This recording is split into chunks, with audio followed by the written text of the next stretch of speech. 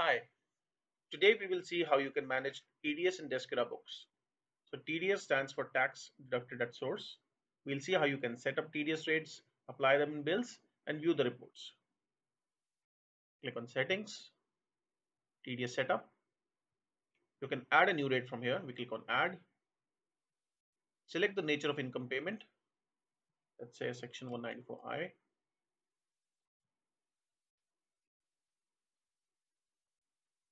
I'll add a TDS rate. I'll add the exemption limit.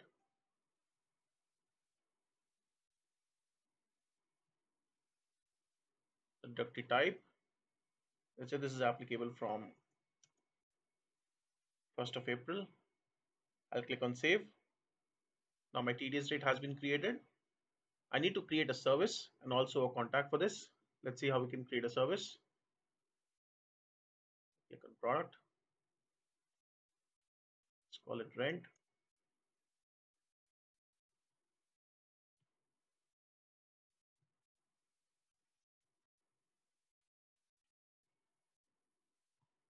We select is TDS applicable as yes.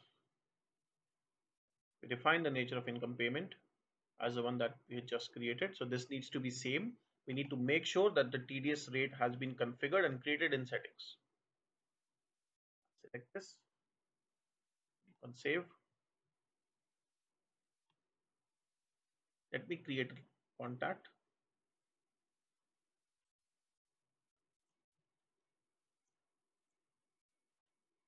I'll key in the PAN number.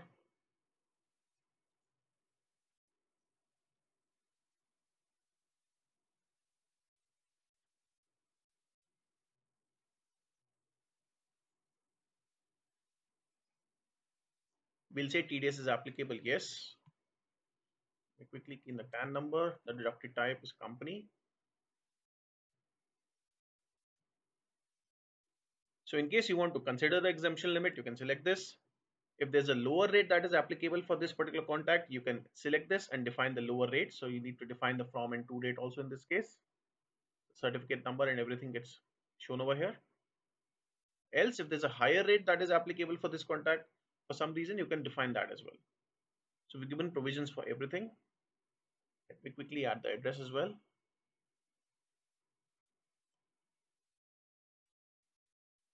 I click on save.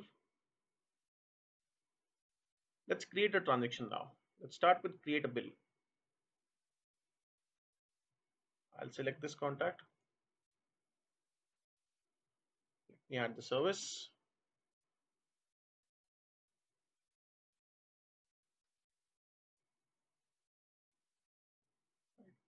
If you want to deduct the TDS, you can click on deduct TDS from more options.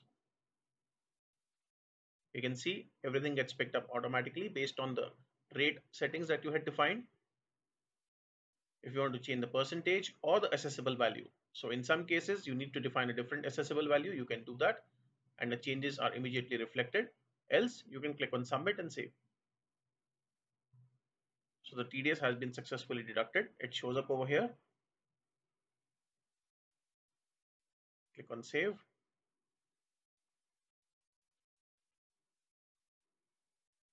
So this transaction that is number 12 has been created. Let's go to reports. So we have something called as a TDS details report. click on this. This is the transaction that we had just created. The various details related to this, the document date, contact name, contact details, address, PAN number, nature of income payment, deductee types, assessable value, everything gets captured. It also shows the due date by which you have to make the TDS payment. And if there's any overdue, it also shows the number of overdue by months. Let's look at another use case. Let's say we decide not to deduct the TDS right now. Let's pick up the same combination.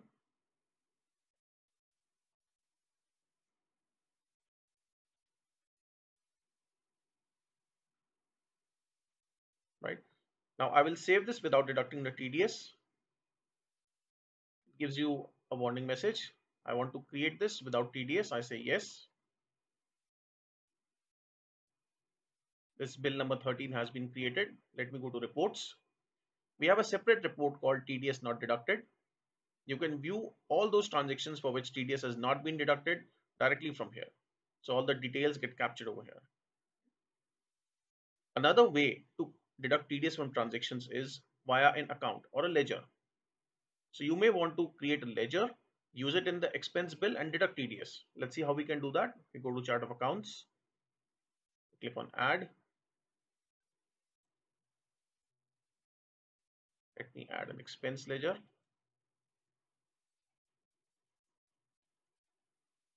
Is TDS applicable? I say yes. I'll tag the appropriate nature of income over here.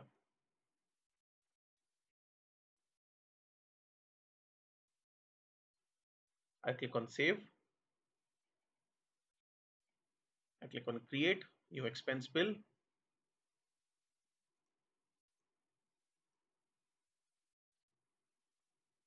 Now I'll add this account or ledger over here.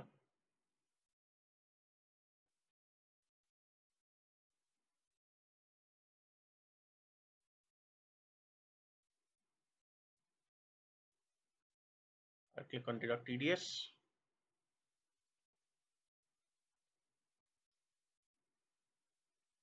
Select the correct account over here.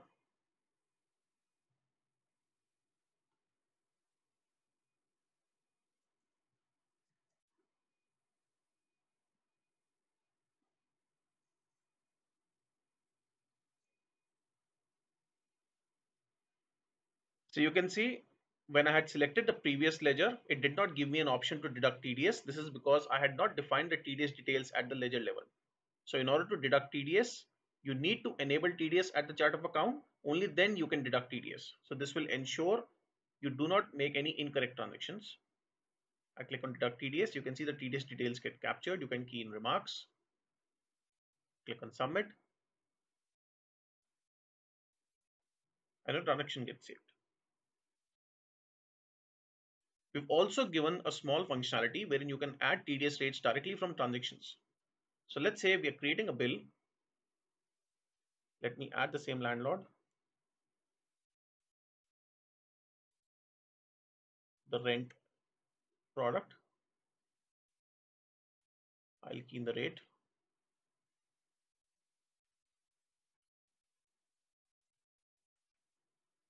So let's say you had incorrectly mapped the nature of income payment or you had not created the right rate and you want to change this from this transaction.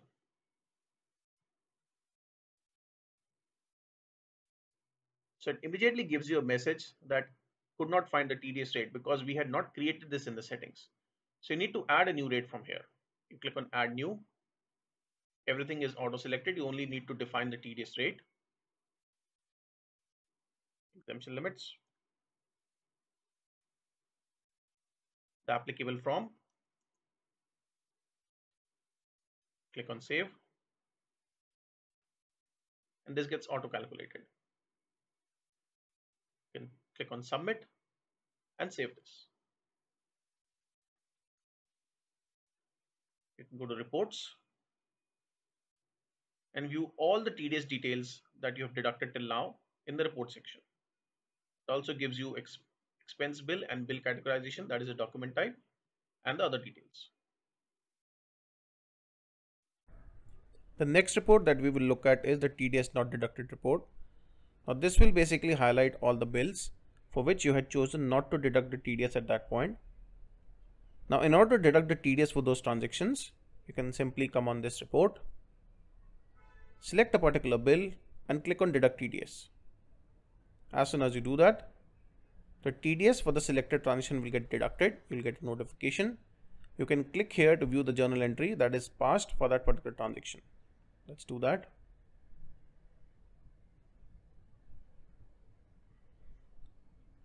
So we are on the JE now. We can see this journal entry has been passed. Let's expand this.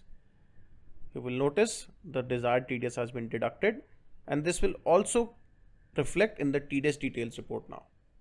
So if you go to reports, TDS details report, you will notice this entry is also shown in this area.